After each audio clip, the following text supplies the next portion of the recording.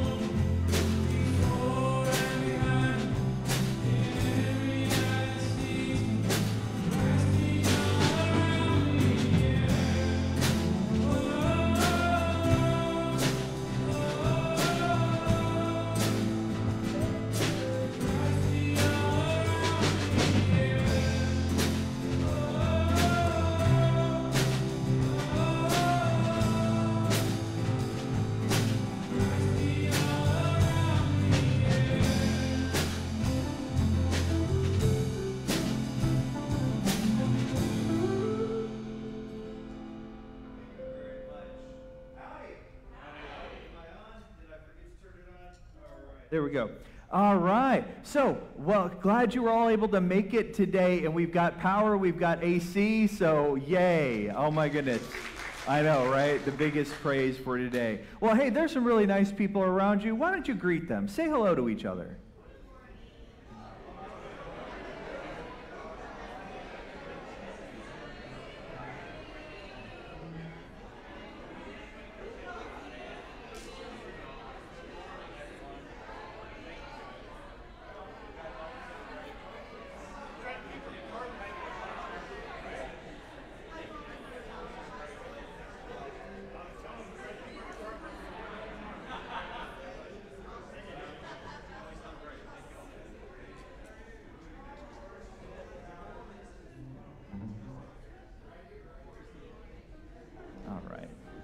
And uh, greetings to the people joining us online. I uh, wanted to make sure that uh, we were also saying if you can't make it in today, hey, the world's a little bit crazy. Hopefully, we can catch you next week, okay? Uh, but, you know, with everything going on, a couple things in your bulletin. Uh, feel free, you can have a seat, by the way. Um, on the back, if you'll notice, there's two things on there if you uh, need some assistance with your uh, place. Uh, crisis cleanup. If you call them before July 19th, they're able to uh, filter the calls to those who are doing cleanup. Uh, in different places, so feel free to call them. The other spot, if you go to the restorationteam.org uh, slash assistance, they also have uh, teams that are uh, working sending people around the area.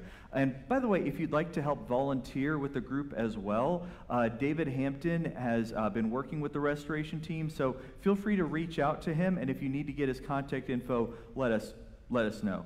Um, by the way, Rock Dinner, I believe, is still scheduled for this Thursday, the 18th. Uh, is that yes? Okay, awesome. So we're just going to have that the Ayara Thai cuisine. Uh, by the way, in two weeks, Camp Lone Star is having their barbecue auction fundraiser. Uh, so if you're interested, check out the website to get some more information. Um, by the way, we were going to have the pastoral call committee uh, meeting after the second service today to give an update. Uh, leadership team asked if we could just wait for a week. I don't know why. Um, but we're going to go ahead and do that next week after the second service. So we'll have that update and everybody can uh, be able to ask questions. And then meeting after that will be the time to vote and move forward in that process. Okay?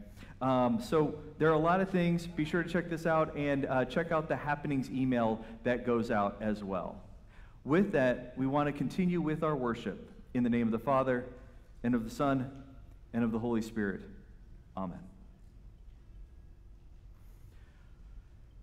There are a lot of times whenever we look at things happening in the world around us. And one of the easiest things to do is to figure out who else's job it's supposed to be. It's really easy that we can point at something and say, oh, I'm not, I'm not so great at that. You know what? I think someone else will take care of that. I think that's somebody else's concern more than mine. I don't really know them as well. I'm not really as connected as well. I should just walk away. But you see, the thing is, is that as much as we know that God is in control, part of that is that we've already said we're going to follow him. So if we've already said, God, I'm going to follow you, then why is it that we walk away when God's path points us to helping those people in front of us? God has it under control, and that's why he's called us to do this. So let's take a few moments our time that we come to God as we confess what's on our hearts, on our minds, and to be able to say, God, there have been times when I know that there was an opportunity to serve that was right in front of me. Or maybe not even what I was doing, but the way that I was speaking with someone, the hope I was supposed to share with this person, the light that maybe they hadn't seen. And maybe I walked away. So, God, I thank you that you didn't walk away from me and I ask for your forgiveness for the times whenever I have ignored what you've placed in front of me to do. We bring our confessions to our merciful God. Mm-hmm.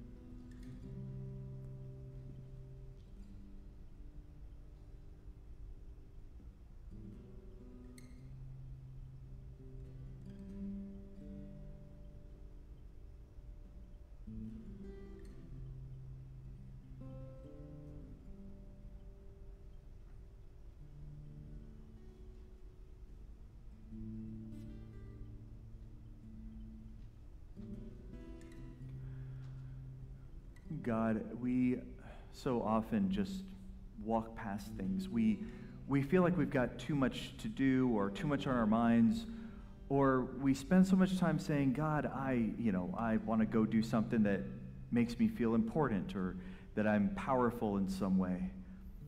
But God, the small things, the smaller tasks, but even sometimes the smaller people, the people that in our minds somehow don't matter as much. God, they matter to you.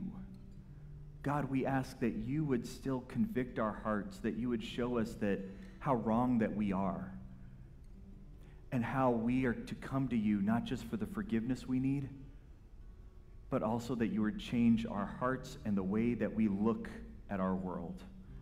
Help us to see what we can do, and help us to have the desire to do it. In Christ Jesus. Amen. You are a part of God's perfect plan, as imperfect and flawed as you may be. This isn't God waiting for you to have it all figured out before He involves you. You are a part of it here and now. Because of what Jesus did, I have the joy of telling you that your sins are forgiven. In the name of the Father, the Son, and the Holy Spirit. And yet, I know that even now, you're still going to struggle. So do you. And that's okay. But God is still calling you back again and saying, Be a part of my plan, and I will still love you. And I ask that you bring that love to others as well. And in the meantime, in that love and grace, may we continue in our worship.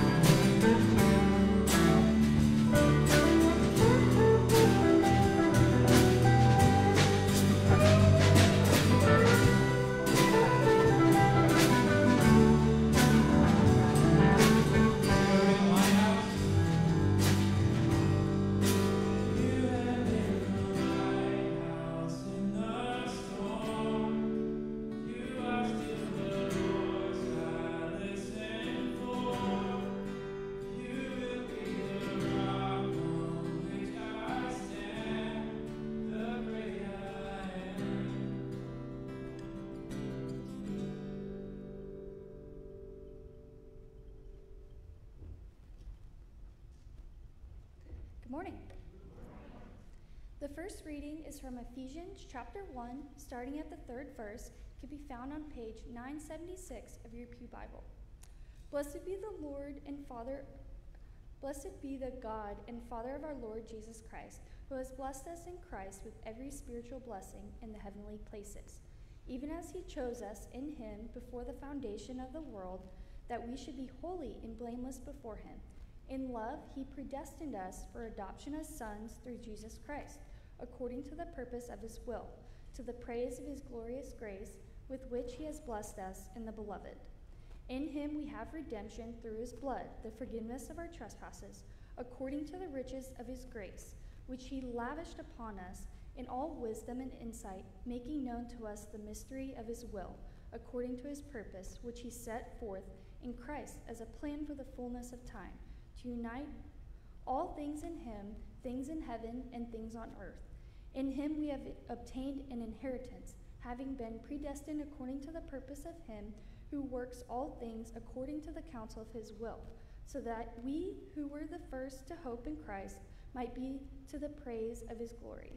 In him you also, when you heard the word of truth, the gospel of your salvation, and believed in him, were sealed with the promised Holy Spirit who is the guarantee of our inheritance until we acquire possessions of it, to the praise of his glory. This is the word of the Lord. God. Thank you, Ashley. Please rise for the gospel. Our gospel lesson comes from the sixth chapter of the gospel according to St. Mark, starting with the 14th verse. King Herod heard of it, for Jesus' name had become known some said John the Baptist has been raised from the dead. That is why these miraculous powers are at work in him. But others said he is Elijah. And others said he is a prophet, like one of the prophets of old. But when Herod heard of it, he said, John, whom I beheaded, has been raised. For it was Herod who had sent and seized John and bound him in prison for the sake of Herodias his brother Philip's wife because he had married her. For John had been saying to Herod, It is not lawful for you to have your brother's wife.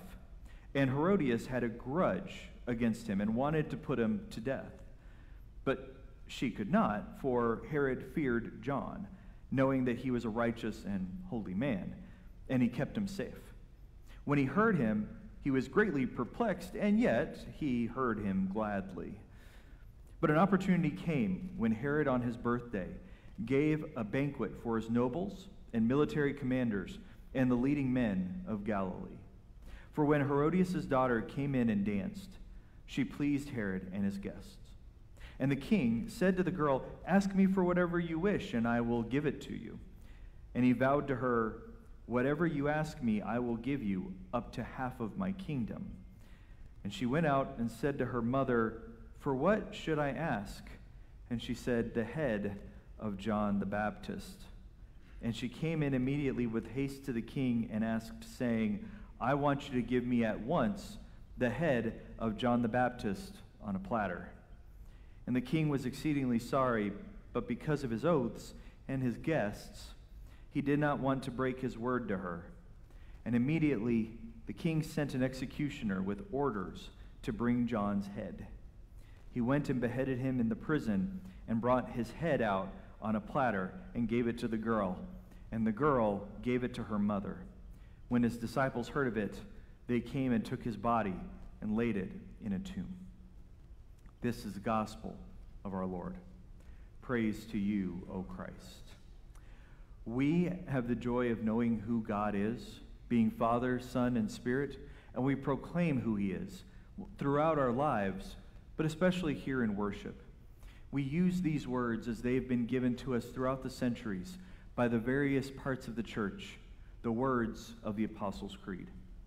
I believe in God the Father Almighty, maker of heaven and earth, and in Jesus Christ, his only Son, our Lord, who was conceived by the Holy Spirit, born of the Virgin Mary, suffered under Pontius Pilate, was crucified, died, and was buried. He descended into hell. The third day he rose again from the dead. He ascended into heaven and sits at the right hand of God the Father Almighty. From thence he will come to judge the living and the dead. I believe in the Holy Spirit, the holy Christian church, the communion of saints, the forgiveness of sins, the resurrection of the body, and the life everlasting. Amen. You may be seated as we join to sing Shepherd.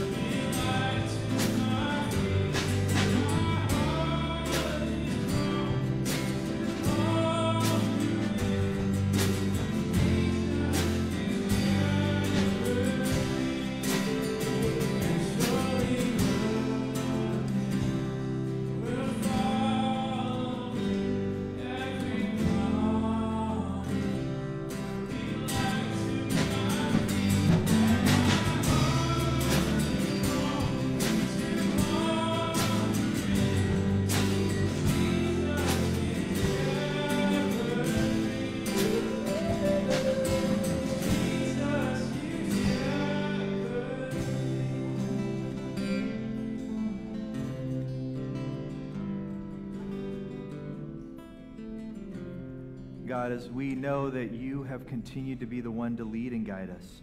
We know that your designs, your plans, they are good, they are right. But God, we ask that you would make us mindful, that you would help us to be able to see the ways in which you are leading us to be a part of your plans. Lord God, help us not to sit by idly, but rather is to joyfully take up the cross and to walk with you along this journey. We thank you, God in Christ Jesus. Amen. Howdy. So uh, I had somebody in the first service uh, say that he was surprised that I didn't preach on the gospel today. It was the first time that somebody was actually really sad about not having a beheading. I was a little surprised on that one. Um, but with it, though, is I was a little bit more distracted by the fact that I heard a rumor that there was a storm that blew through on Monday. I don't know. There might have been a little bit of rain and wind somewhere in there. Clearly, it could not have been that big of a storm because big storms only happen when I go out of town for at least a week at a time. So clearly, it could not have been that large.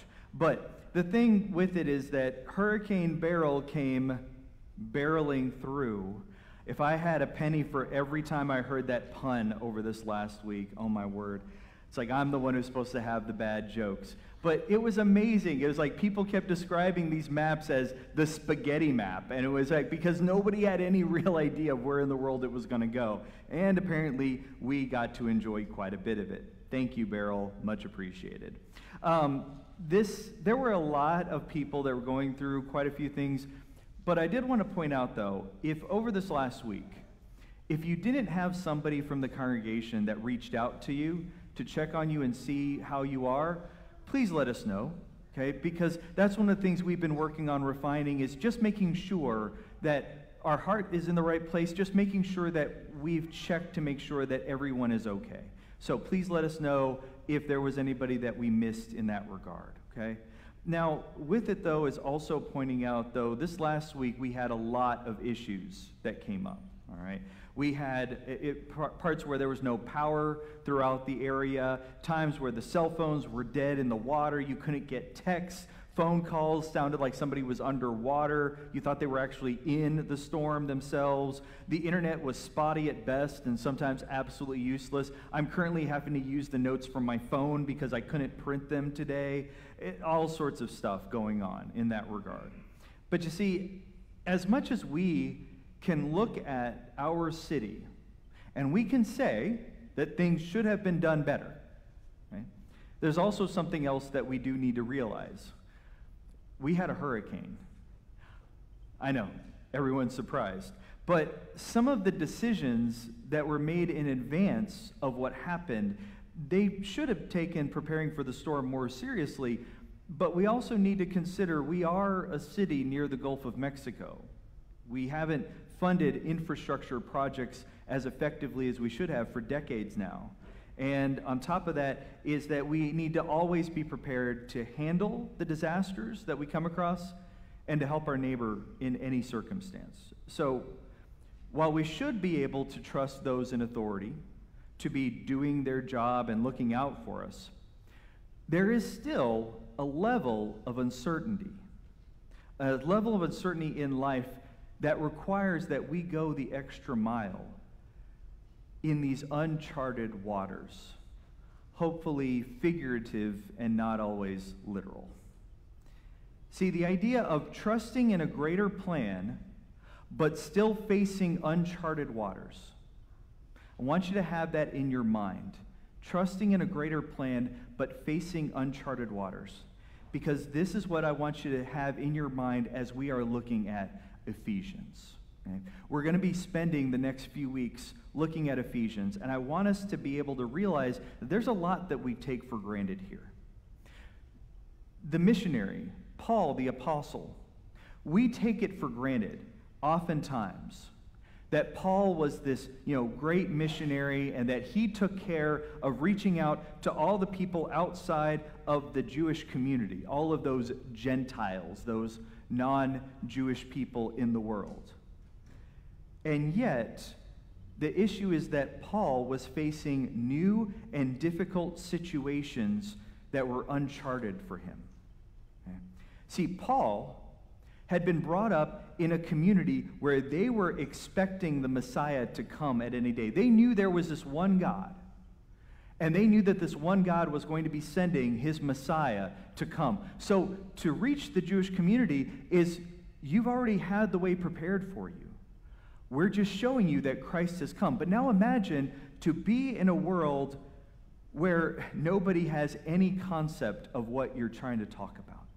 See, the thing is, is that while the Jewish people could know that God had chosen them and had called them to be his own, it was a very different message and a very different picture as Paul is going to the Gentile community. See, the thing is, is that trying to teach them it's reaching out to people who, instead of thinking of there being this one true God, is that instead there's this pantheon of gods out there.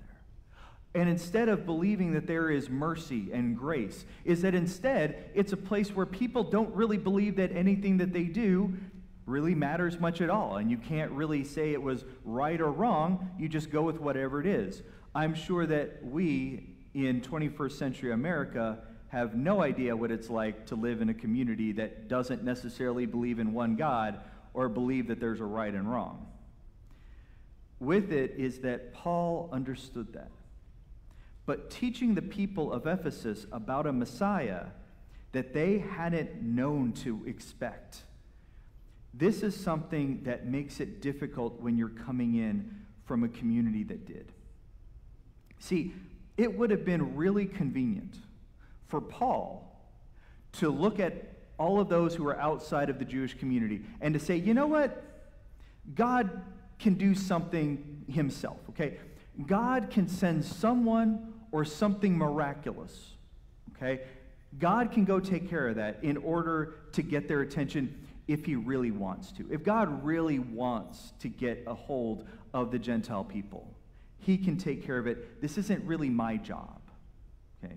It's not my job to worry about it because, well, I'm a Jew and I need to reach out to the Jewish community. That's going to be for somebody else to do.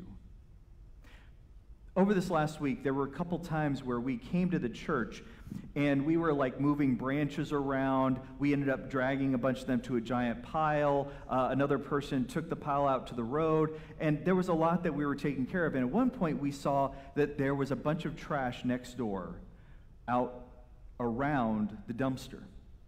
Now, the thing is, is that people in the neighborhood going through all these issues, they saw the dumpster was full, but they still left trash sitting around the dumpster. Now, in seeing this, the thing is, is that there were winds, there was rain still happening, there was all sorts of things. You don't want to leave that trash just sitting there. And we didn't know how long it was going to be before any of the services could come and take care of it. Now, let me just make it very clear it was wet, it was nasty. You do not want to know what was growing inside of it. It was terrible.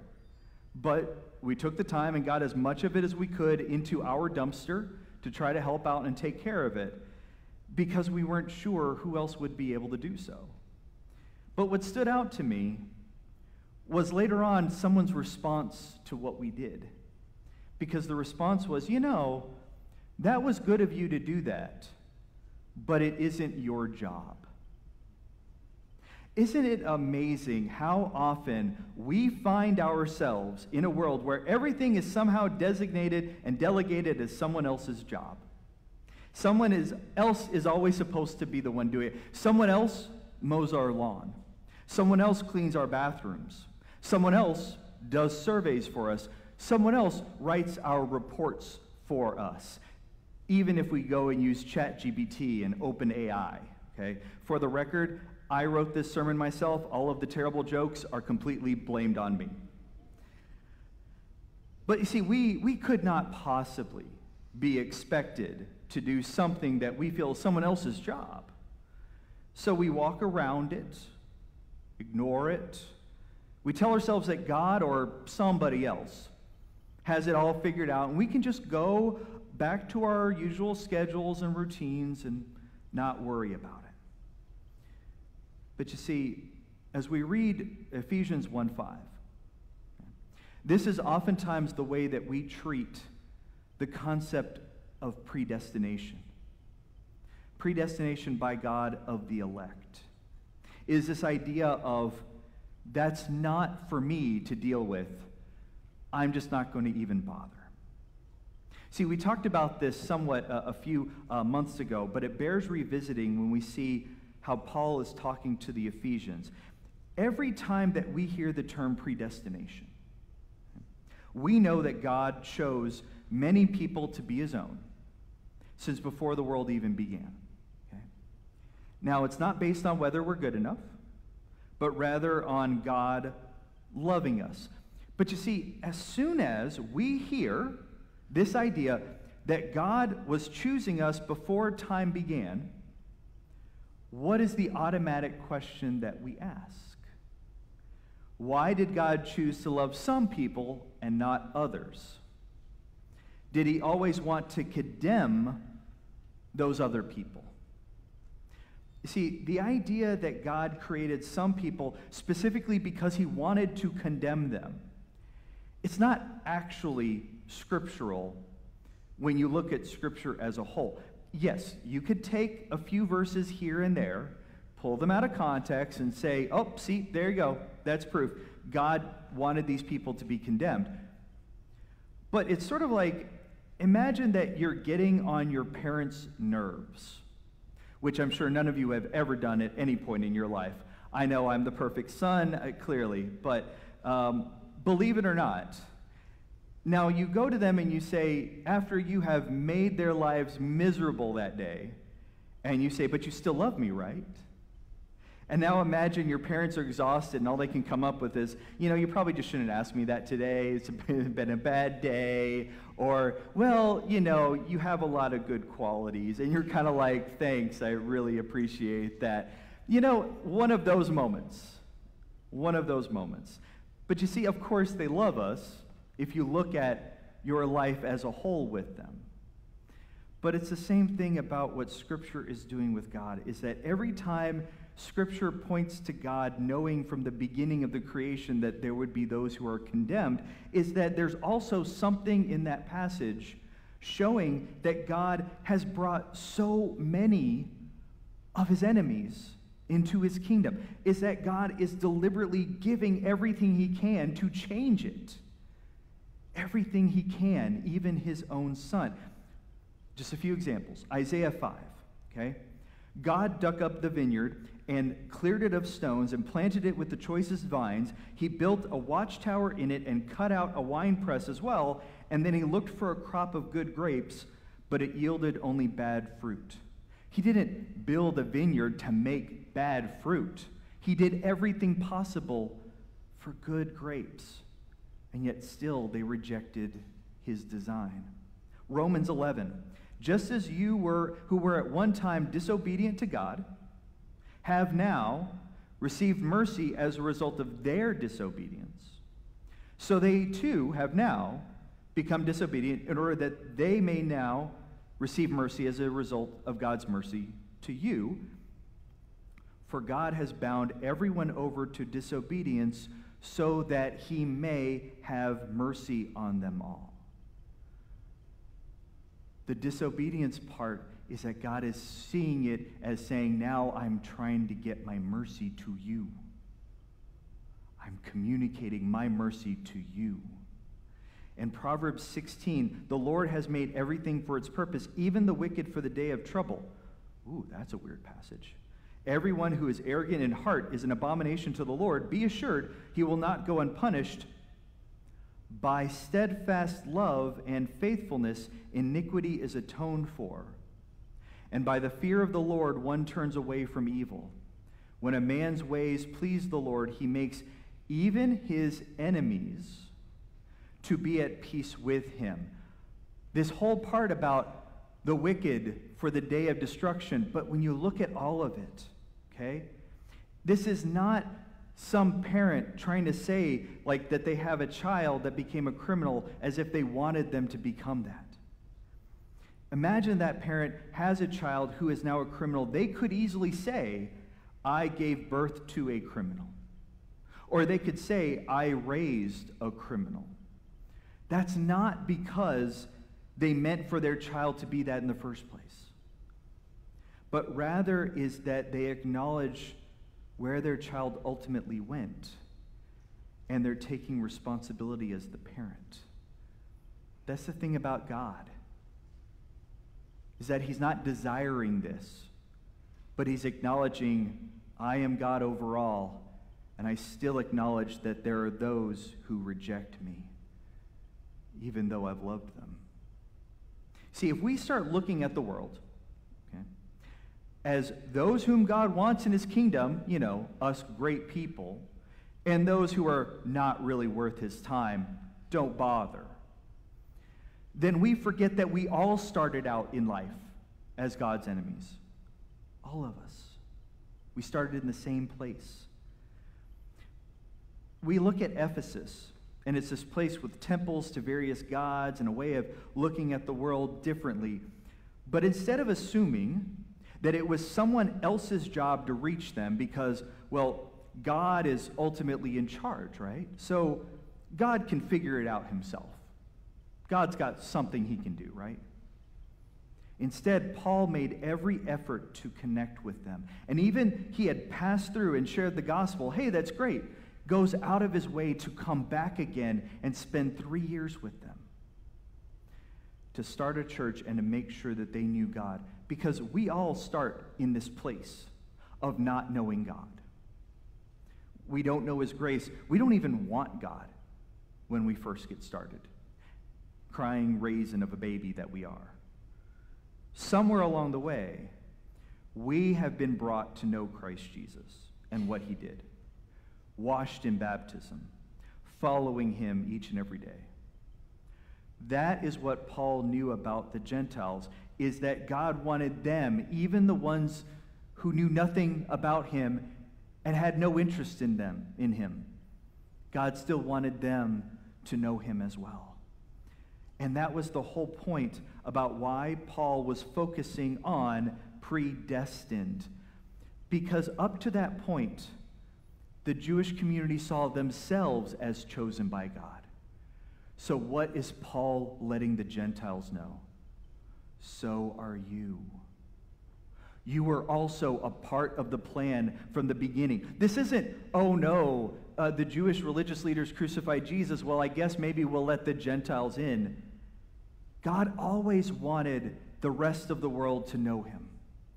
That was always the plan. That was always what he intended. In verses 13 and 14, in him you also, when you heard the word of truth, the gospel of your salvation, and believed in him, were sealed with the promised Holy Spirit, who is the guarantee of our inheritance until we acquire possession of it, to the praise of his glory. Because all of those who believe in Christ are then called predestined, elect, and sealed. End of story.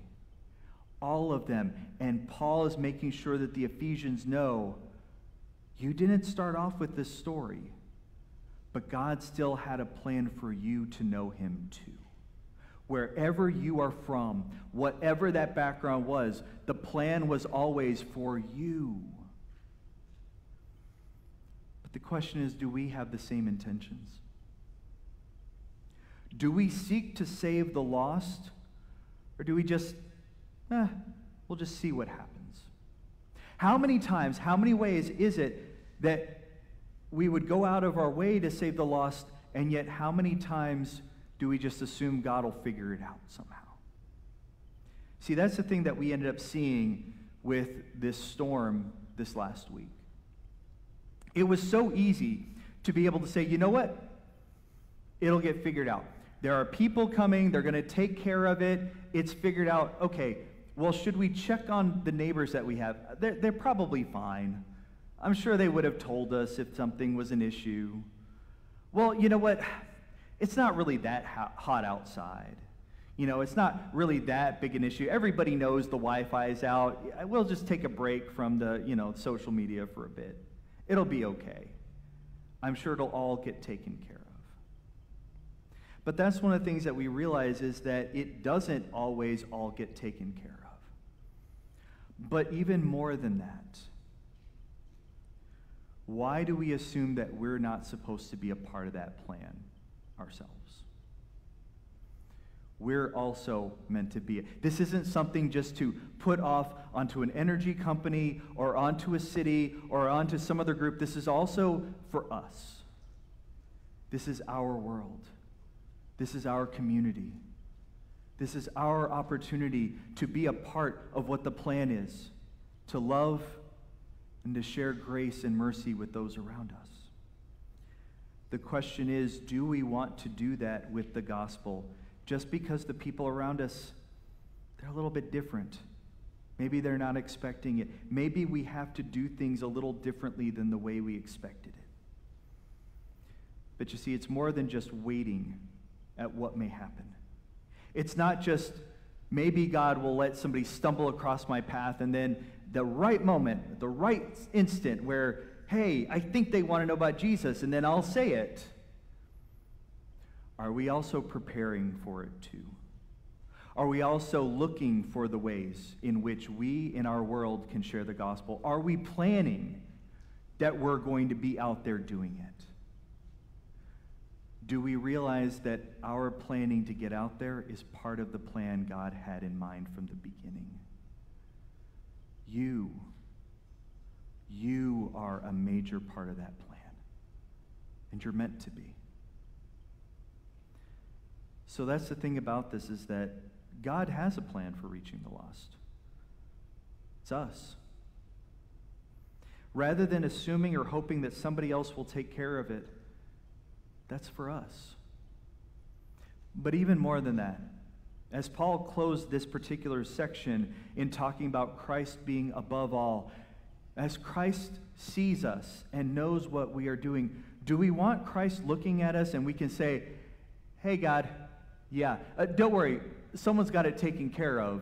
Uh, I'm, I'm sure you've got it all in plan. I'm just to I'm just going to sit here and do my thing, but hey, good job. Or is he looking down saying, You, my child, are the one to take the message to the world? So wherever we see we can do so, and however we see we can do so, may we realize that we're the plan.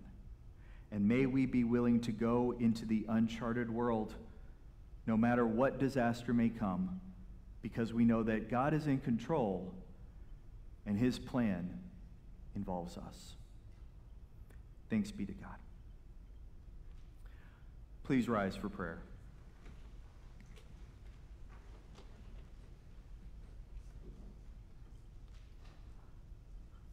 Lord God, we are seeing that things around us have been really difficult. God, we see the, the electrical poles. We see the ones that have snapped in half. We see the tree branches everywhere. We know so many places that don't even have power, even today. God, we, we don't know all the ins and outs of what happened, but God, we do ask that you would empower and move all of those who are working in this community to help those in this, in this area to get back on their feet. But Lord God, also we ask that you would put it on our hearts, put it on our minds, that we would go forth and we would reach out to see what can we do? How can we help? Whether that to be a warm meal or a place to rest or even just a chance to charge somebody's phone. But God, we also ask that we would do the same with your message, that we would not assume that someone else has it figured out, that instead we would realize that we are a part of that plan that you predestined from the beginning of the world. And Lord God, we ask that you would move us, that we would see and we would desire to be a part of that. Lord, in your mercy, hear our prayer. Lord God, we live in a tumultuous world where people do hideous things. God, we are grateful that our former president did not get killed. We are grateful that that bullet did not hit the right spot. But Lord, we also mourn for the loss of the life that was taken that day. Lord God, we ask that you would not only bless their family and all of those who mourn, but also, God, we ask that you would touch hearts and minds. Lord God, show people that this is not how we deal with issues. Lord God, whenever we see the world that is differently, it is not for us to call one another to violence or to anger. Lord God, may we not be a people that try to lash out to stop people in some ultimate way just because we don't like them. And God, may, may we not respond to these issues that come up in these times of violence with anger because, God, we don't want to compile this anymore. God, help us to be able to see one another as gifts of life and hope from you. And help us to be able to live in this country, this country that people have fought and bled for, not in a state of anger and animosity, but rather as people who want to love and live freely with each other, with the hope that we would not only know you, but live a life that is pleasing to you. Lord, in your mercy. Lord God, we ask that you would bless all of those who are struggling in different ways. Lord God, we ask that you would bless Donna as she is going through different tests and that she is recovering from. And Lord God, we ask that you would bless the results and whatever may come from it. We ask that you would remind her that you are with her, that you love her, and that you are strengthening her, and that we are there with her to do whatever we can. Lord God, we know that there are so many things that are in your plan that are outside of our control. So, Lord God, we just ask that you would show us what we can do and move us to do so. Lord, in your mercy, hear our prayer. We thank you that you hear us, you lead us, you guide us, even as you have taught us how to pray. Our Father, who art in heaven, hallowed be thy name. Thy kingdom come, thy will be done, on earth as it is in heaven.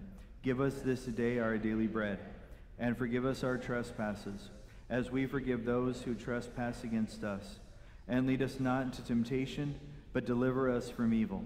For thine is the kingdom, and the power, and the glory, forever and ever. Amen. You may be seated. Uh, as we're bringing our offerings to God, um, please make note on the cards that are in front of you. Uh, they're all the same card. with it is just be sure to put on there not just the prayer requests that are on your heart, but also anything you wanted to make sure that we're aware of.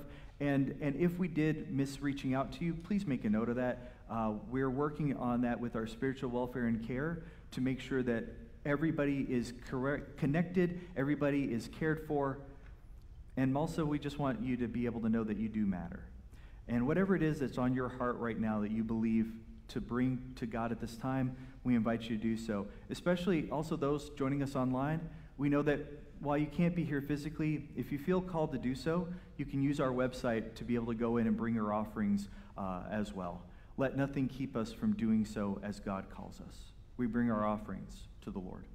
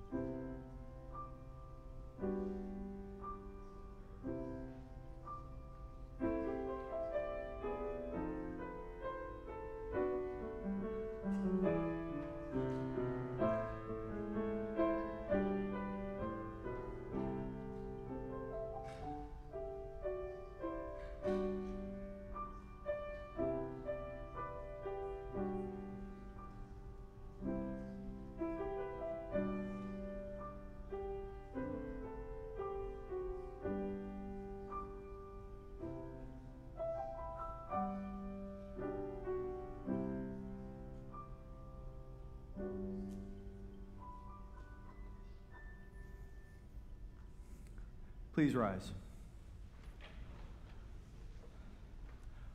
We had a lot of issues over this last week with uh, whether you could open your fridge, whether or not you knew that you were getting a hot meal or just something that was a sandwich. We didn't know what all was going on. We were unsure of a lot of things. But what we're not unsure of is that Christ is with us and that his meal of forgiveness is ours now and always. See, the night when our Lord Jesus was betrayed, he, he took bread and he gave thanks and he broke it and he gave it to his disciples and he said, Take and eat. This is my body, which is given for you. Do this in remembrance of me. And the same way also, after supper, he took the cup. When he had given thanks, he gave it to them, saying, Take and drink of it, all of you. This is my blood of the new covenant, which is shed for you for the forgiveness of sins. Do this as often as you drink it in remembrance of me. Christ Jesus has given himself for us, and as we receive this meal, he is affirming for you salvation, forgiveness are yours. For all those who believe that Christ has given his life for you, not just for everybody in general, but specifically for you, and that in this meal, this is affirmed for you. You are invited to come forward and to receive it.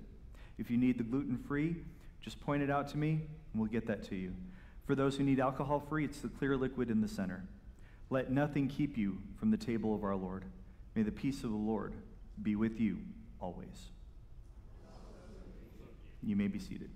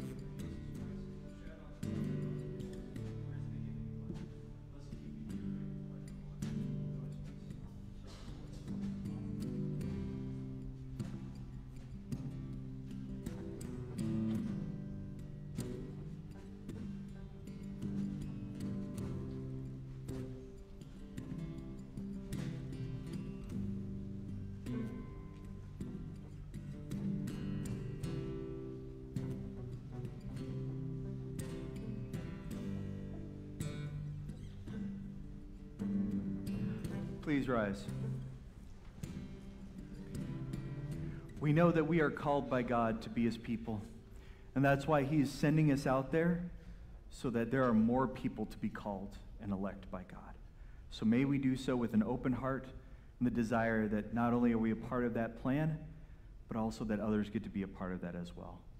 Let's close our worship as we join to sing.